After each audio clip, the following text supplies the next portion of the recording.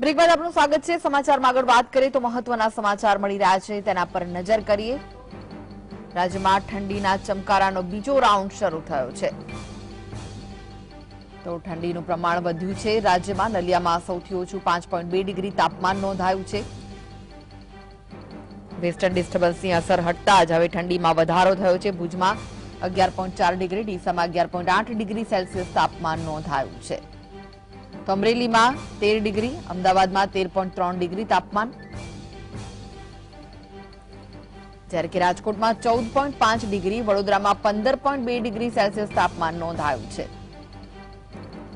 રાજ્યમાં ઠંડીના ચમકારાનો બીજો રાઉન્ડ શરૂ થયો છે. વેસ્ટર્ન ડિસ્ટર્બન્સની હટતા જ.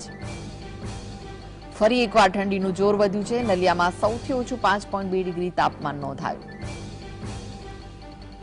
તો આગામી પાંચ દિવસ ઠંડી પડવાની આગાહી કરાઈ છે. વધુ વિગતો માટે જોડાયા છે સંવાદદાતા કિંજલ. કિંજલ શું વિગત?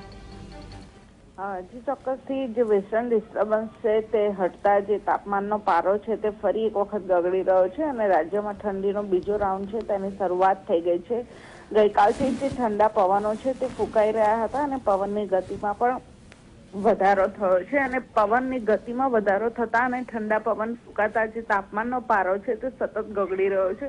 એક જ દિવસમાં જે ઉત્તર ગુજરાતની વાત કરવામાં આવે તો ડીસામાં એક જ દિવસમાં છ ડિગ્રી જેટલો જે તાપમાનનો પારો છે તે ગગડ્યો છે. તેની સાથે જે તાપમાન છે તે પણ ઘટ્યું છે. હજુ પણ જે હવામાન વિભાગ દ્વારા આગામી પાંચ દિવસ જે ઠંડીની આગાહી છે તે કરવામાં આવી છે અને હજુ પણ જે તાપમાનનો પારો છે એટલે કે તાપમાનમાં હજુ પણ બેથી ત્રણ ડિગ્રીનો ઘટાડો થશે તેની સાથે જ જો ઠંડી છે તેમાં પણ વધારો થશે. ઉત્તરાયણમાં પણ જે હવામાન વિભાગ દ્વારા ઠંડીની આગાહી કરવામાં આવી છે અને પવનની ગતિમાં પણ વધારો થવાની જે આગાહી છે તે કરવામાં આવી છે.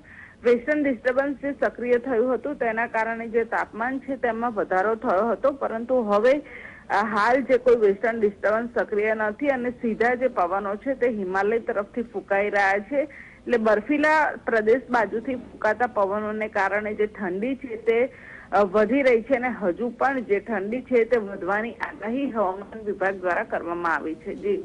આભાર માહિતી આપવા માટે.